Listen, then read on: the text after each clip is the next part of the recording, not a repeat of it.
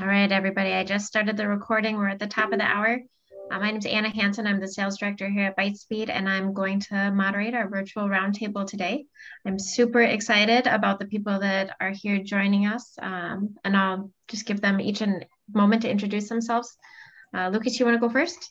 Yeah, I'm Lucas Hulney. I'm the CTO at Bytespeed, and uh, with AppStream, I'm kind of our um, technical lead, so I do a lot of the the onboarding of clients, a lot of work with our team internally here on uh, keeping everything running and maintained, and um, and yeah, obviously work a lot with Anna's team on uh, calls and things like that as well. So, thanks, Lucas.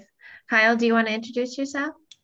Yes, my name is Kyle Dibble. I'm Director of Technology for Logansport Community School Corporation. Indiana, we're called corporations and not districts, but uh, so uh, been here since November of 09 and been working with Bytespeed for several years and, um, uh, and specifically the past uh, year and a half or so with Lucas uh, working on this Amazon uh, web streaming and uh, they've been really good to work with. So I'm excited to be here and help answer any questions. Thanks, Kyle. Joe? Yeah, hi everybody. I'm Joe Wakeman. I'm the Director of Technology and Communications for the Nevada Community School District in Central Iowa. Um, we have been doing AppStream for, I think, the better part of three, going on four years now. Um, had done some other app virtualization prior to that, but yeah, been AppStream for a while now and loving it. Thank you, Joe. I um so the the platform I'm gonna have, I'm looking for as much interaction from you guys as we can get. So if you pop any questions you have, there's two options. You can put them into the Q and A, or you can put them into the chat, whichever is easiest for you. And I'll ask the panel the questions as they get going. Um, I've got a couple that people submitted to me a little earlier that I can, that I'll kind of pepper in there as well. But Lucas, for people that are a little bit newer to AppStream, do you want to just kind of give them a basic overview of what AppStream can do? Yeah, um, I'll say from a, just like a 10,000 foot level, um, it's more of application virtualization. So it's really going to excel at um, taking applications that run in Windows and pushing them into the cloud and letting you deploy those applications to uh, any device that has a web browser. Um, it can be a Chromebook, it can be a Mac, it can be an iPad, it can be another Windows device. Um, in a nutshell, though, it allows you to uh, take applications, push them in the cloud, stream them to the devices, and of course, the higher end applications that Chromebooks can't run um, without a Windows backbone. So you're looking at Adobe Creative Cloud, um, Autodesk, which is Revit and um, Inventor, things like that, Auto, AutoCAD. And um, Project Lead the Way. So a lot of CTE curriculum only runs on Windows. And it's a good way for you to um, get those applications running on your Chromebooks, and then also solving the issue of um, access to the apps too. So you don't have to be in a computer lab in the school at a specific time. You can do it uh, from anywhere at any time, um, just depending on how you have it set up. So that's perfect. Okay, so this first question is for Joe and Kyle, and that's um, VDI solutions are not new. Um, assuming you guys may have looked at some other solutions in the past, can you tell us why you picked AppStream and a little bit about your experience with any of the other solutions? Um, Joe, I'll have you go first. Yeah, so um, we had started down the app virtualization process the better part of six years ago. Um, we had looked at a few different things at that point. Um, AppStream wasn't really a, a, a, I don't even know if it existed, but it certainly wasn't a big player at that time. Um, we looked at a few different things. I have got a pretty robust um, VMware environment for our servers, so we thought, well, VMware's got an option, um, and we ended up with a um, uh, in-house Citrix uh, environment for app virtualization, mainly because it, it it had a few better features for um, as far as Chromebook interaction went. Um, so we were uh, Citrix Farm internally, so we bought some really expensive servers with graphics cards in them. Um, prior to that point, we didn't have any centralized Active Directory or anything. We did, but it, it wasn't student facing, um, being an all Mac school. So we didn't, we leveraged that for some internal stuff, but not for everybody. So we had to spin up a, a pretty substantial environment for um, Active Directory for students to support that. So pretty robust backend infrastructure and pretty high cost um, initially to get all that set up and going.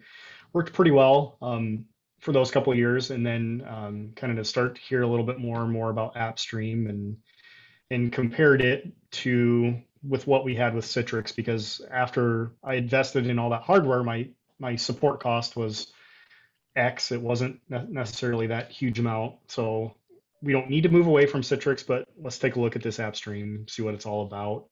Um, and between basically paying for the same amount that we were going to pay for support with Citrix was what my is what my AppStream cost is. Um, it, I don't have that initial investment, so I don't have to next time my servers age out that I don't need to buy that super expensive hardware again. Um, support it's a little bit quicker and easier for me to be able to spin things up and down as needed. I, I I'm not I don't have a hardware limit to things now. So say I needed to spin up 500 of these things um, for AppStream to support 500 kids. It's not like I need to go hurry up and go purchase more hardware for it. It's all there. So that's kind of where we were at and how we made that transition to AppStream. That's Awesome. Kyle, will you tell us about yours? Sure. Um, so we were looking for, we have a career center here at, uh, uh, at our corporation. And one of the things we were looking for is that remote solution. Um, also, uh, hardware, you know, upgrades, you know, refreshing those uh, labs every year and everything. It just takes time, imaging, trying to get all that built up uh, every summer. And then obviously COVID hit and our kids are working remote and needed a solution. And I was familiar with more of the, you know, remote desktop services, kind of, you know, the Citrix, the stuff that Citrix runs on top of uh, from um, previous uh, job as at a reseller, putting those uh, installations in other companies, especially factories or hospitals using that technology. So we started looking at that and some of the areas that I looked at, other companies that I looked at, they, they weren't in tune with education. The pricing for when I was looking at it was, it would be a lot more than us replacing hardware every five years, uh, let alone trying to build up the server farm to support what we needed.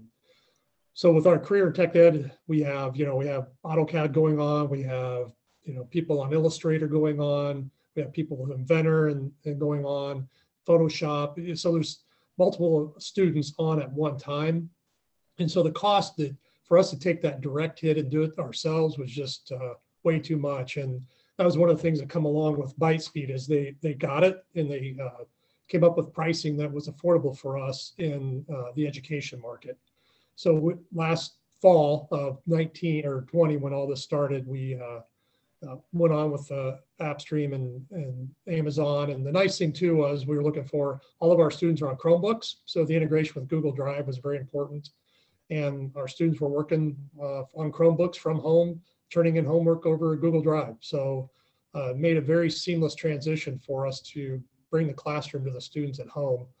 And we continue using it. And uh, as we look forward at our model, we had a couple years left on our current um, desktops before refresh, but uh, I know working with the team there Bytespeed, we're looking at making this move, this transition to be not refreshing that hardware and, and um, just continue using the, the AppStream because it's working so well and it's available to the kids, you know, 24 seven if you want it, but there is a cost to that. I'm sure Lucas can go into more detail of, you know, why you don't have everything spun up all the time because there's somebody's still going to pay for those cycles and those CPU uh, cycles running. So um, can one other thing I would just say, like integrating new technologies with teachers is sometimes more difficult even than addressing the new technologies with students. Do you guys have any um, anything that you did to help make things more successful with integration across the teachers and the student environment? you could share. Do you want to, Joe? Would you answer that one? And then we'll do Kyle next. Yeah. So. Um, we were kind of in the same boat as Kyle that a lot of CTE focused things, especially um, your project lead the way is your graphic designs, that sort of thing. Um, so we we put the software on our image and then worked with the teacher to find out, okay, how does this work is this going to be a sufficient environment? Is this going to do what you would expect it to do? And that's where we kind of some some things that we thought we understood as the IT department had to shift a little bit, and then what they expected as a teacher from the endpoint delivering the, the software needed to shift a little bit. Um, but once some of those kind of ingrained thoughts shifted, um, it definitely was a more successful rollout. Um, kind of as Kyle mentioned as well, it, it, you look at the numbers, I can spend $50,000 to replace a CAD lab, or I can spend this much on AppStream and we can stretch our dollar a lot farther and try and bolster your program in other ways as well. Um, so that was a, a, pretty big selling point. Um, and it, like our teacher, he actually, um, our teacher that started last year, he doesn't even have a PC for Project Lead the Way. He's got a normal issued Mac like every other teacher in the district, and he runs AppStream just like the kids do um, from his side as the teacher. So he's he's using it and living it every day, um, kind of walking that walk, and um, he knows no different. So that's great. Um, what about you, Kyle? Any advice or input on integrating with the teacher and student experience? Sure. We uh, first thing we did, we just went, you know, with one teacher uh, just to figure out that was uh, a little bit more, you know, kind of comfortable with technology and changes. Um, and we worked with her to uh, kind of roll it out at first, figure out, you know, what's missing, you know, what are we not getting right or bugs uh, through that process, and uh, just kind of figured out what her needs and what she wanted for the class. And then we just started with her, and then we opened it up to the rest of the teachers once we kind of had a game plan together of how to roll it out to everybody else. So it made it pretty smooth to spin up the other teachers and get them going. Um, so um, it, it's actually once they just kind of grab the concept of I'm going to this browser now to launch this, and oh, here's my Google Drive, I'm connected. It's once they they're they're in that environment, right? They're already in Photoshop or Inventor or whatever. So it's not, you know, to them, that's just a new way of getting to it instead of launching an icon off of a desktop, for instance. We're just launching it out of a browser now. So it wasn't. And it just takes that a, just little mind. It takes that little bit of mind shift change, mm-hmm. mindset change that I'm I'm running it where. So I mean, our, I mean, realistically, our kids and teachers think they are running Inventor on a Chromebook. They don't know that it's running out here in the cloud. They think it's running here on the Chromebook. So it, just different funny conversations and things with kids that, that yeah. oh, or you know, other schools will get emails. Oh, we heard you got Photoshop to run in your Chromebooks. How are you doing that? Well, it's not technically running on the Chromebook. It's AppStream. Right. Um, but so a little bit of a shift there. Um, one thing we did that helped adoption as well is uh, this year we purchased um, some 22 inch widescreen monitors for our um, CAD classroom, and then I bought a USB C dock station. So they've got a keyboard, mouse, monitor in the dock. So when the kid brings their normal issued Chromebook, they set it down, they can plug it in, and now they've got their peripherals and a large screen that they can do some of that stuff exact on. direction we're going to go. Um, yep so that we had done for several years prior, um, doing it just on the smaller screen. Um, but then with uh, that teacher retiring and a new teacher coming in, he thought the kids would be a little bit more efficient um, doing that. So okay, you know, a couple hundred bucks a pop, I, and that that's not necessarily going to age out like a PC would. Um, I, I, think that was a pretty easy compromise for us to make, and mm-hmm. and the kids are able to do. after watching them, I think they can operate a little bit more successfully. Um, with some of the software doing that. Now, like our graphic design kids um, that are using Photoshop, they're perfectly content doing it on their normal screen, um, the 11.6 inch screen.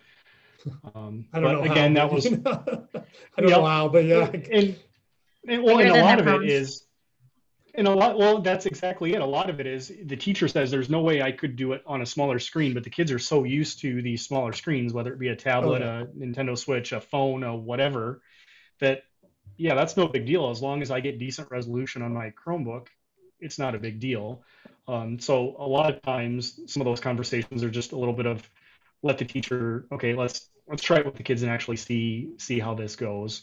Um, if it fails okay let's look at adapting here a little bit. But um, definitely, I think through the process, you need to be flexible and understanding that you're trying to give something new and totally understood ununderstood to kids and teachers that know nothing about app virtualization or you know they don't need to and they don't necessarily need to need to know how it works either just here i'm going to do this so you can run inventor on your chromebook and i'll worry about the details you tell me if it works or not so that's kind of the approach that we've taken to not not gloss everybody over with the details and and don't look at the man behind the curtain kind of thing but Right.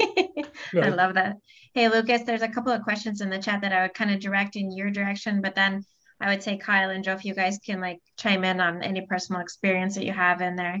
Um, I don't know if you want to maybe talk about the applications that we have included and then also just address the print question as well, which Yeah, I'm I've sure you guys both have. answer some of the questions as they've been coming through. Um, and right, so the the applications that are going to run in AppStream are going to be, um, you are going to have to do a little bit of research if it's kind of a customized thing. So there's things that work well, and there's some things that don't work that well. Um, it works really well if it's a CPU or graphics intensive program.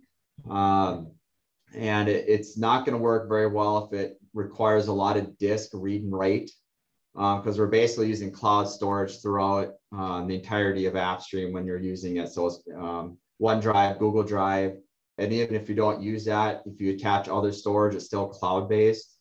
Um, so programs like Unity, um, Unreal Engine, those big project graphic-based applications aren't going to work very well.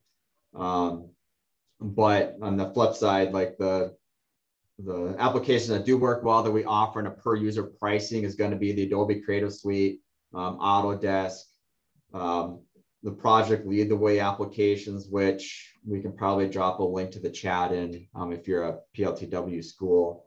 Um, and then outside of that, um, as long as the application runs on a server 2019 um, operating system, it should work in AppStream. Um, I've run across some applications that don't work in server, and it's just the way that the program or the software was written just isn't going to be compatible. Um, but for the most part, there's not a lot I've come across um, besides just those heavy uh, disk uh, read and write uh, applications. So um, then on the printing side, uh, it's not directly connected to your network. So AppStream inherently lives in the cloud and it's not going to be tied to anything on premise unless you want it to be. You have to uh, manually set up a, a, VPN connection between the two. Um, so being as it's running in the browser, uh, there's no um, direct printing or USB pass-through options.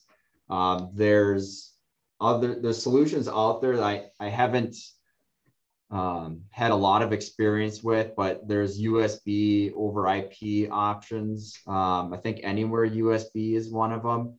And again, if you look at Project Lead the Way's resources, it it'll kind of talk about that a little bit because they, they do have applications that require USB connected devices like heart rate monitors and um, you know different things that log um, activities in software and AppStream. So um, Joe so that- or Kyle, do you guys have anything? Sorry, Lucas, do you guys have anything on the print side? Have you either of you addressed a print question or do you just know you can't do it? For us, uh, like in our um, Inventor and AutoCAD lab, since everything, the students are saving things to Google Drive, uh, the teachers that have the device there, they can pull it up. But so much of it now, they just grade by pulling it up in AppStream and uh, or on their device, uh, their Windows device, and in their as a teacher, and grade it that way. So there's actually a lot less printing. But for the things that they do need to print, the teacher will pull it up and print it currently because most of the work that the students are doing, they're just turning it into in a folder on a Google Drive to get graded.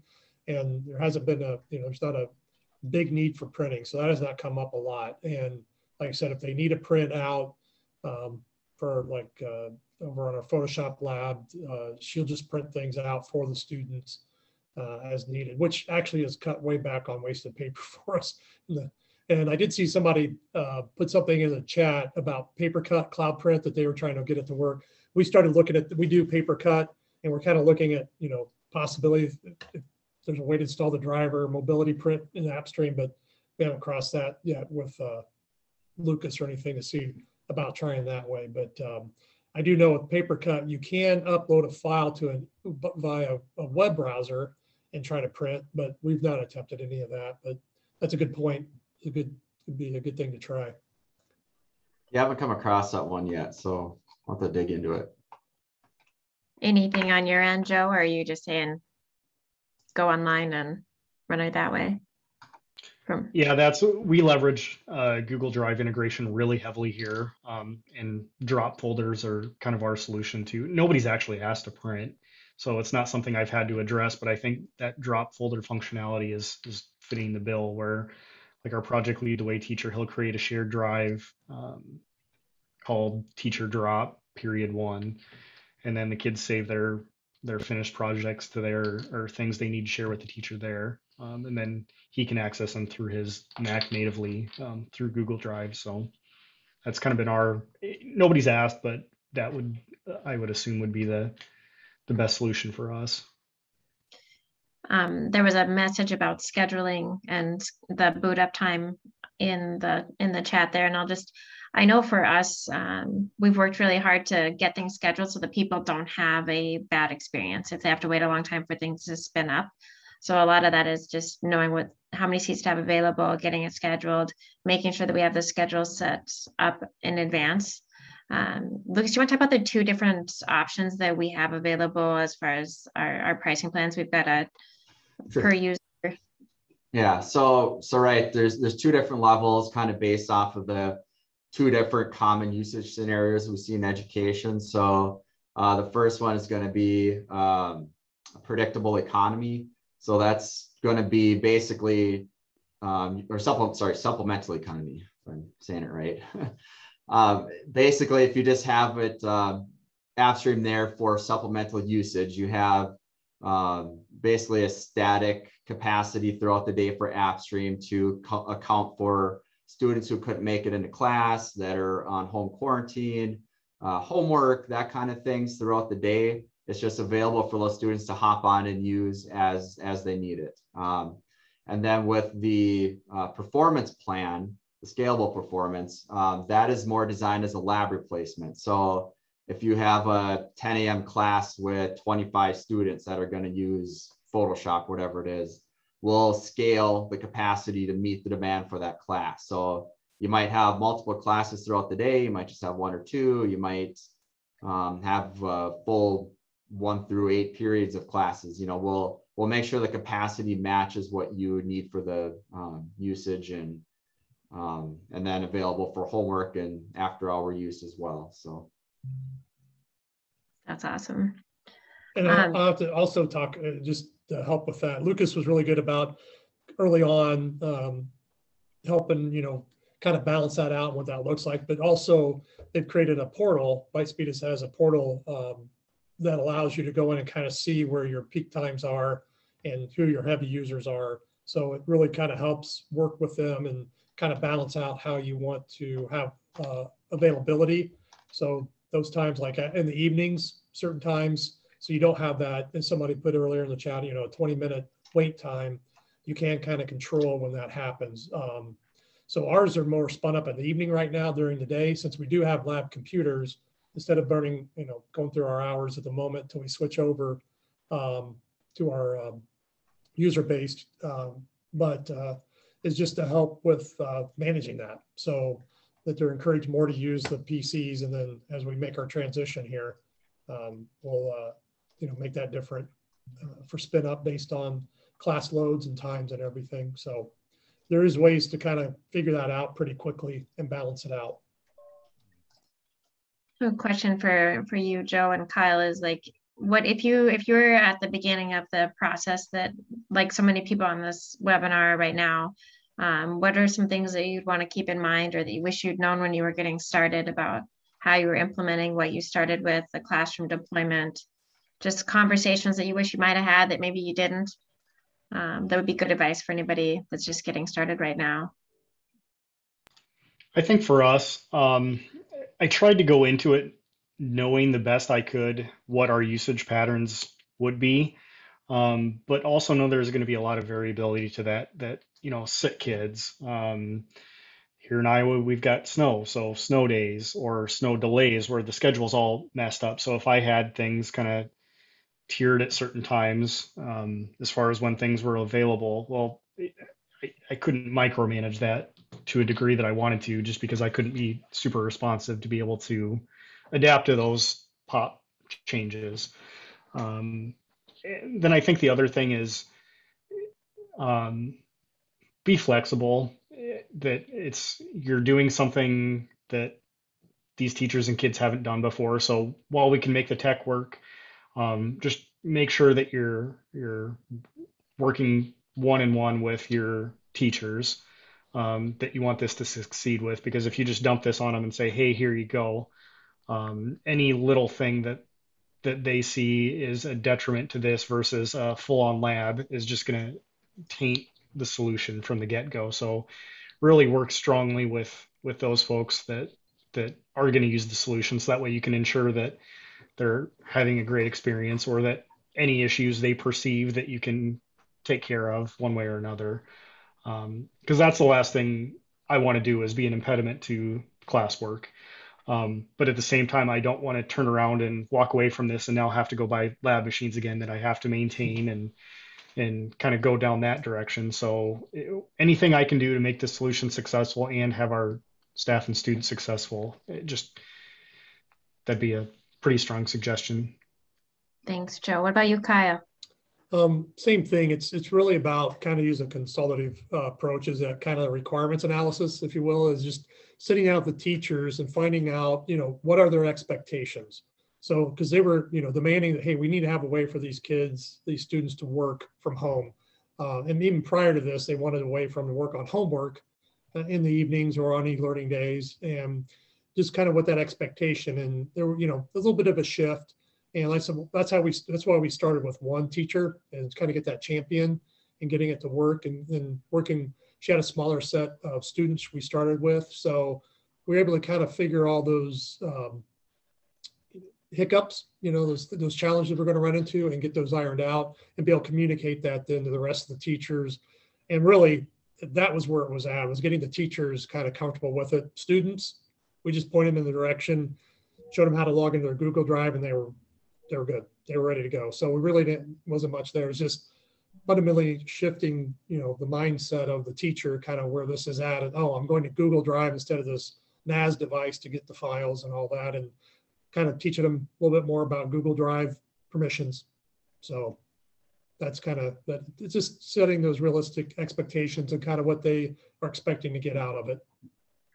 We've got a few more minutes. There's a question in the chat. I do I am gonna address I'll answer it to the to my knowledge. Um, and then I'm curious to how you guys are funding this too. One of the questions was can we use the new USAC uh, ECF funding? um, since it can be used for remote learning? And if so, are any recommendations on how to word that? Um, unfortunately, it is not a ECF qualifying expense. Um, however, it is very, very CARES and ESSER funding qualifiable. So if you have any money available there. Um, Joe or Kyle, do you guys want to talk about how you guys funded it in the district? Was it typical tech budget or did you leverage any of the COVID funds? for our career center, he uh, was able to get through some grants. So uh, we at the time we didn't have to um, use any of our GEER or ESSER funds for this. Uh, the career center he had some grants available to uh, purchase this to get us started. What about you, Joe? And as far as us, we've been doing it for a long time. Um, our usage didn't change at all because of COVID, just because we had had it prior. Um, so we're just using technology department funds. Um, kind of the thing that I explain to people is look at where your source of those computers for those programs, where did that money come from? Whether it was a tech budget, a curriculum budget, a CTE budget, whatever, look where the funding for those machines came from. And to me, that's a logical replacement for, okay, I'm just shifting instead of me buying hardware, I'm just buying software now um, for the same thing. So that's that's what we've done and what I've kind of recommended to people outside of COVID funding, anyways. I would be curious, Joe. Do you? Um, uh, I know in the state of Indiana, like Chromebooks, they're considered a book uh, or laptop devices. So we can, you know, charge part of that as a fee, like a book fee. Uh, I was curious uh, where you're at, or do you guys charge a technology fee to try to help cover any of the costs? So we do, and we look at it as a textbook replacement fee, um, and we use that for a lot of our subscriptions um, to things like WeVideo and things like that. I could see this as a very logical avenue for that as well. All right. One last question, and then I think we'll we'll call it. And anyone that has any follow-ups, please don't hesitate to reach out, and um, I'd be happy to get an answer if I don't happen to have one. The last one is: Do the Chromebooks that run this have a specific base requirements? And I'll just say that um, you just need a web browser. So all of the processing, all of everything that's happening is happening in the cloud. So you guys have anything? That's the pretty cool. crazy? That's the pretty cool thing is that it. I mean, we've done it on Raspberry Pis. Um, one of our um, Project Lead the Way teachers, we had some Raspberry Pi stations for Citrix, and that was when we started the transition over. We took the Citrix thin client off of those Raspberry Pis, and then just ran Chrome in a web browser. I mean, it, it it'll run on my Android phone. You need a modern web browser, and that's about it. That's awesome. I'm going to drop a web page into um, into the chat here, and it just is. We've done the best that we could to think of all the questions that we get asked pretty commonly and throw them um, throw them up onto our website. The pricing is public; everything's listed on their website. But we're always happy to jump on a phone call if anybody has any specific questions. And um, we thank you, Kyle and Joe. We've quick, on these I guys quite a lot throughout this deployment. That's all right. Hey, uh, so the, there was a question about do the Chromebooks that run uh, have specific base uh, requirements? And we started running it originally on um, four-year-old Chromebooks. Uh, So uh, to whatever those specs of 2000, 20, so about 2017 or 18 spec Chromebooks, and they it ran fine. And and, well, just as Joe Joe said, they ran them on a Raspberry Pi. So you can see that the requirements are very, very uh, low that needed to do this. So but uh, I think your, you know, your screen is going to be refresh for that is going to be kind of that. And, um, and no, I know none of us are running it, uh, this hosting from this. I just, I told people I'm running this from a newer Chromebook that I'm testing out. So I'm on here. So that's why I think it's kind of odd. My resolution's just low on this one, but I don't think ECF is funding does hosted. cover Chromebooks, though. Yes, they do. Um, I, I think we probably, in the essence of time, want to wrap this up pretty quick. The Miguel just answered most districts on-prem are hosted. Um, this is, it's all um, off-prem, but most of the schools we're working with are hosted. Lots, there are schools all over the country that are running AppStream without any um, managed service. It is very, very doable, but you have to dedicate some time and resources to it and be willing to commit to a learning curve. Um, when I first learned about this solution, I thought, well, gosh, we don't need to do anything here because everybody can just go put it together themselves. And then I was educated very quickly that it's not it's not that easy. Um, there's a lot of time and resources that get put together, um, building out your images, maintaining your images, setting up schedules and fleets, and um, so that's the value add that that we provide at Bytespeed is to we manage the environment and build out the fleets and schedule and make it easy so you don't have to worry about those things. So happy to talk through either way and be a resource no matter what anybody decides though. Thank you guys so much for coming on, Lucas and Kyle and Joe. You guys are the best. We really appreciate you and um, happy to jump on a follow-up call with anybody that has any follow-up questions. Have a great day, everybody. Thanks, everyone. Thanks, guys.